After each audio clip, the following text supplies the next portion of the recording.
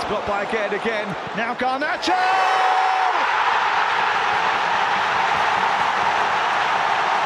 How about that? This team's trophy thirst does not appear to be quenched by just the Carabao Cup. They were